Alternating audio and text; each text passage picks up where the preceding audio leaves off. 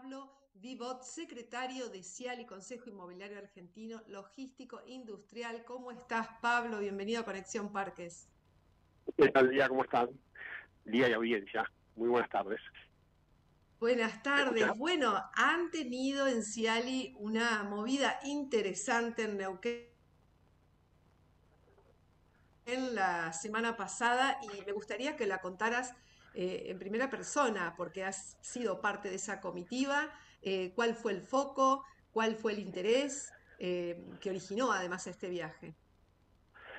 Bueno, primero hay que destacar este, que Ciali está conformado por, por, todos brokers de la logística y la industria este, que ejercen en Buenos Aires, que ejercen en el Gran Buenos Aires,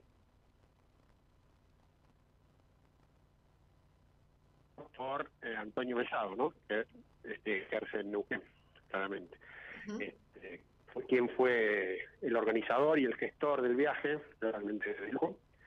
Este, y la idea, como concepto principal, era conocer las, las necesidades que está teniendo Neuquén y Vaca Muerta puntualmente en cuanto a infraestructura inmobiliaria, para ver si nosotros podíamos de alguna manera traccionar inversores desde, desde nuestras zonas básicamente.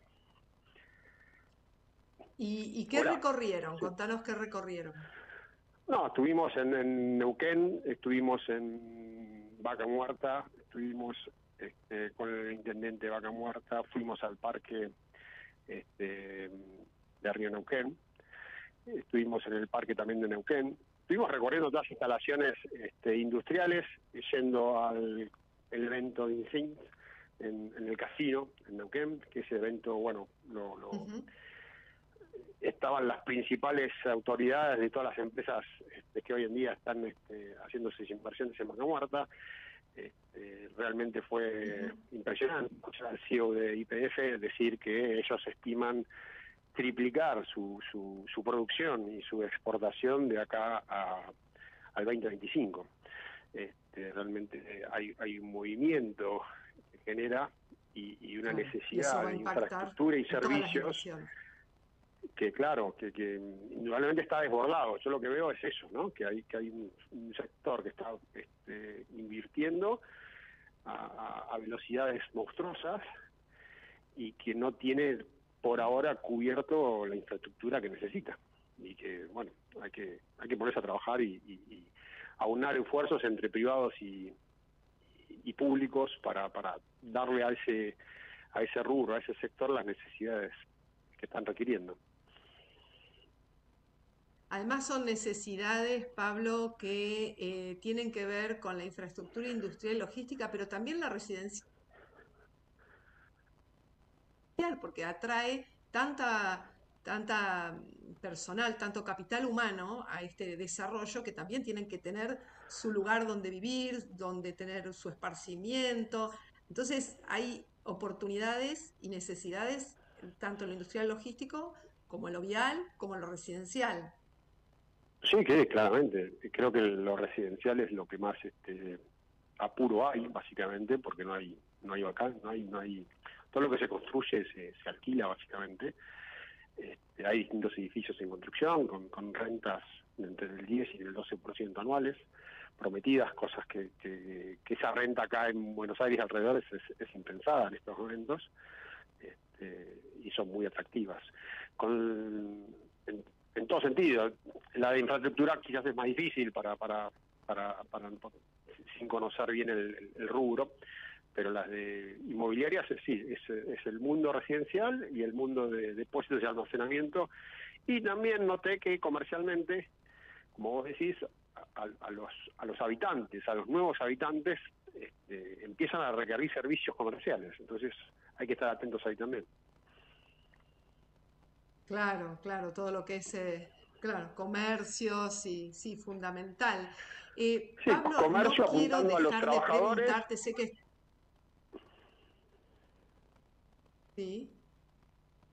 Comercio apuntando a, los, a los habitantes, que son los empleados de las petroleras, pero también las petroleras empiezan a tener insumos que deberían de tener en zona y no ir hasta Neuquén a, levantarlos, básicamente, porque la conectividad Neuquén-Vaca Muerta, todos sabemos que, si bien este, ha sido, este, con la nueva ruta, ha sido un alivio, sigue siendo este, con una demora bastante importante, ¿no? Para hacer los 100 kilómetros se tardan a veces dos horas, dos horas y media.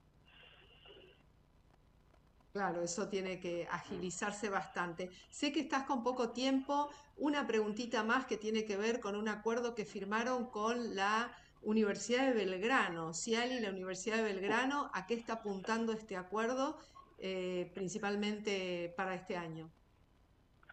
Bueno, para nosotros es, es, un placer firmar eh, con semejante, digamos, entidad. La idea nuestra es dentro del, del máster, llamémosle, que tienen ellos de, inmobiliario y apuntado al mundo inmobiliario, es poder dar algunos talleres o poder introducir la temática logística industrial, este, entendiendo que ya hicimos algunas pruebas piloto y fue de gran interés del alumnado, este, todo el mapping de la, de la industria y de la logística de la Ruta 6 hacia, hacia Capital Federal, este, la última misa, la distribución. Este, esta es la idea, aportar nuestro conocimiento, nuestro know-how a los, a los estudiantes para así poder este, tener el día de mañana eh, gente mayor capacitada en este, en este rubro. ¿no? Y a su vez este, nosotros poder capacitarnos con los distintos cursos y distintos este, másteres que, brinda la universidad. Bien, fundamental, entonces lo vamos a estar seguramente cuando haya alguna de las actividades de CIALI en la Universidad de Belgrano, lo vamos a estar compartiendo también con, todo, con toda nuestra audiencia. Pablo Vivot, muchas gracias. No, por favor, de nada, y, cuando ustedes quieran me vuelven a llamar, un placer hablar con ustedes. Muchísimas gracias. Bueno, hablaba ya lo escucharon con Pablo Vivot, secretario de CIALI.